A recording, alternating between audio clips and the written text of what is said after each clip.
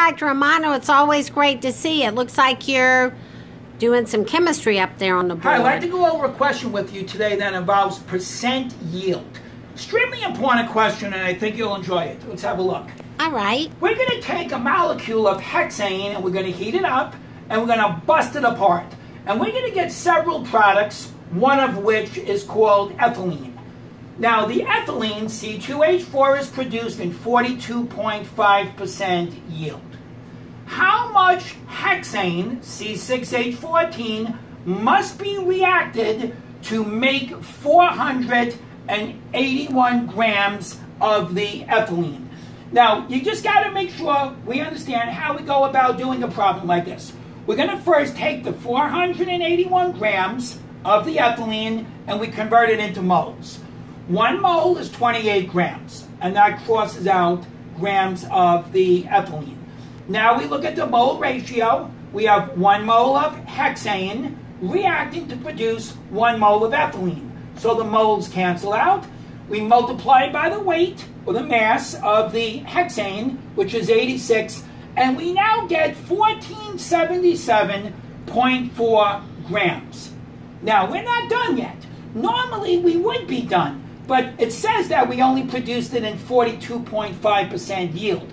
Normally, on these types of problems, we assume 100% yield. But here I'm giving you a percent yield. The percent yield is the actual over the theoretical times 100. Let's plug in. We know the actual yield, well, it was given. We, we know we got 42.5%. Now, the 14.77.4, that's tricky. If we want to make this, this is what's been made, this is actual. If that's actual, this is actual. And that's where it's tricky, because it says how much hexane must be reacted to make 481 grams. So this is what you have in your flask in lab, 481 grams.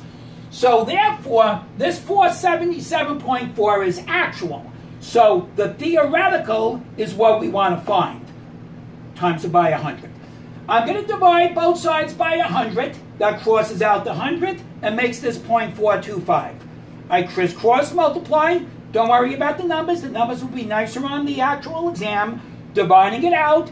And I'm going to hold this to three significant figures because 481 has three significant figures. And we get 3.48 to the third grams. That would be the theoretical amount of hexane needed. I hope this explains a question that I think is a little hard. Normally, we don't see a percent yield given in a problem. When we just do stoichiometry, we just hit it directly. But if you can understand this, I think you got yourself covered. Thank you, Dr. Romano. Is that a horse you have on your shirt? It is a horse. It's the mighty Secretariat. Secretariat. Wow. Good day to you. Good day to you, sir. Thank you. I'm going to go take a break now. Sheesh, always working.